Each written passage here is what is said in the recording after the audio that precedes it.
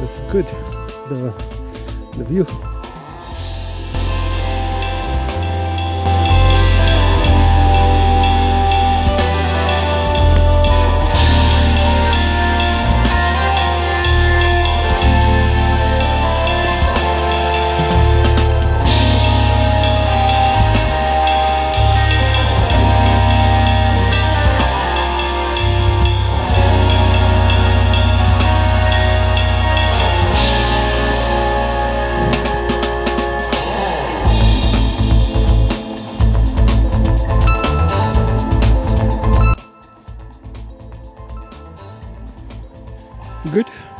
We took a break here.